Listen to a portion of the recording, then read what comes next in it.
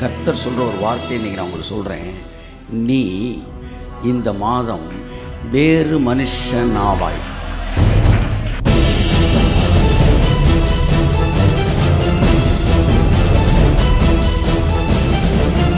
ஆமேன். வேறு மனுஷன் ஆவாய்.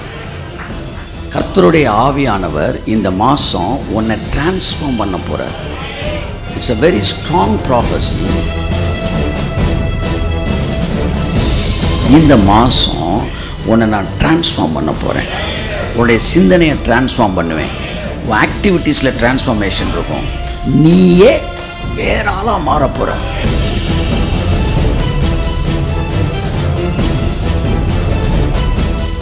உன் ப்ரேயரில் உன்னுடைய பைபிள் ரீடிங் உன்னோட ரெவலேஷன் உன்னுடைய கேரக்டர் உன்னுடைய லைஃப் ஸ்டைலு உன்னுடைய பிளெஸ்ஸிங்ஸு உன் ப்ராஸ்பரிட்டி எல்லாத்துலேயும் ஒரு பெரிய மாற்றத்தை தேவன் உண்டு பண்ண நீ வேறு மனுஷன் ஆவாய்